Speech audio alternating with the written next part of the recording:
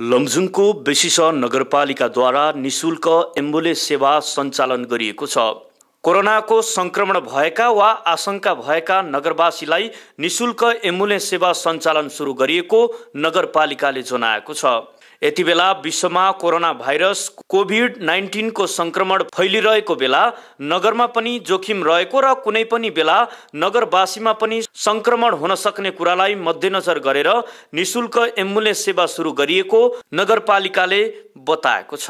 र यति बेला मुलुकमा कोरोना भाइरसको बिगबिगी रहेको। हाम्रो मुलुकमा मात्रै होइन अब विश्वभर नै भन्दा पनि हुन्छ।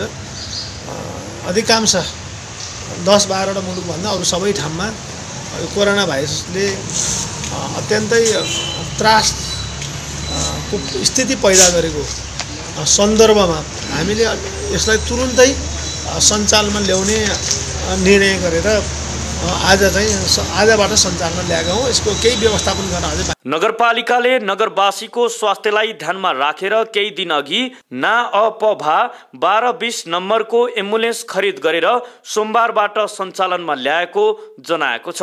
यस महामारीको अन्त्य नभएसम्मका लागि कोरोना सम्बन्धीका बिरामीलाई नेपालको जुनसुकै स्थानमा लैजानका लागि पनि निशुल्क एम्बुलेन्स उपलब्ध हुने नगरपालिकाले जनाएको छ।